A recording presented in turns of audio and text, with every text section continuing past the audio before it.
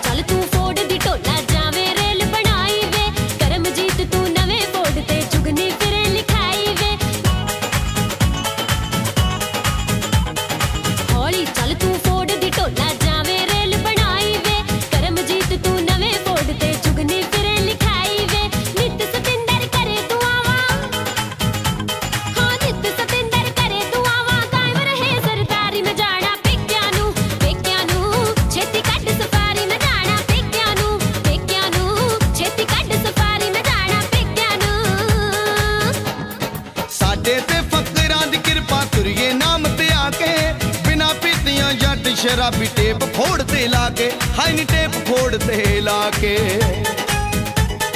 ਝੂਠ ਨਾ ਜਾਣੀ ਭਗਤੇ ਵਾਲਾ ਝੂਠ ਨਾ ਜਾਣੀ ਭਗਤੇ ਵਾਲਾ। ਉਂਝ ਬਥੇਰਾ ਸਾਊ ਨਹੀਂ ਹੁਣ ਤੇਰੇ ਪੇਕਿਆਂ ਨੂੰ ਪੇਕਿਆਂ ਨੂੰ ਫੋੜ ਸ਼ੂਕਦਾ ਜਾਊ ਨਹੀਂ ਹੁਣ ਤੇਰੇ ਪੇਕਿਆਂ ਨੂੰ। ਪੇਕਿਆਂ ਨੂੰ ਛੇਤੀ ਕੱਢ ਸਫਾਰੀ ਮੈਂ ਜਾਣਾ ਪੇਕਿਆਂ ਨੂੰ। ਪੇਕਿਆਂ ਨੂੰ ਫੋੜ ਸ਼ੂਕਦਾ ਜਾਊ